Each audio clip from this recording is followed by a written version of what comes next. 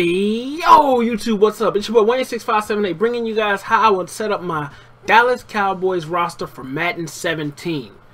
And of course, they have that great Dak Prescott at quarterback, Mr. Butt Fumble Mark Sanchez, Kellen Moore, and I don't know if they've done anything. I'm recording this video Sunday. I don't know, have they done anything with Tony Romo yet? But anyway, he's probably not going to be a Cowboy, but I don't know.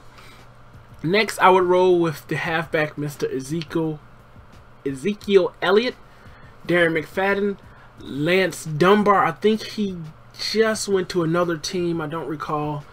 And then Alfred Morris, fullback. We're gonna keep Keith Smith. Wide receivers, we're with Dez Bryant at number one. Terrance Williams just signed a crazy multi-million dollar deal. Cole Beasley, the best white receiver in football next to Jordan Nelson, Brice Butler, and Lucky Whitehead. Tight end, the one and only, the great, the GOAT, Jason Witten. I did, when I was setting up these rosters, I saw this James Hanna guy. This guy runs an 86 speed. Uh, if I'm want a possession receiver, I'm going to go with Jason Witten. But when I want to get down that field and burn you and hit you over top, mostly linebackers will be covering these tight ends, so I'm going to put that Hanna guy in and just bomb it out. I'm not going to go the offensive line. Left end, I like T. Crawford, David Irving, Jack Crawford. Right end, Demarcus Lawrence, Benson Moya, Mayowa, whatever, Charles Tapper. Defensive tackle, you got to put T. McClain in there. You want that guy to be the beast, the strongest person on your team. You see this guy's a 92. He is a stud. Next, we have Cedric Thornton, Maliek Collins, left outside linebacker. I'm rolling with Jaylon Smith. As this guy runs at 85 speed, I want him to chase those tight ends and those slot receivers. Uh, the middle linebacker, I did put Sean Lee in. He's listed at a right outside linebacker. But I like him at the middle linebacker because of his awareness, which is a 95.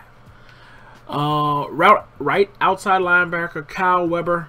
I'm going with him. He has decent speed, and he can get off of the block. Cornerbacks, Claiborne, Carr, Scandrick, and Brown.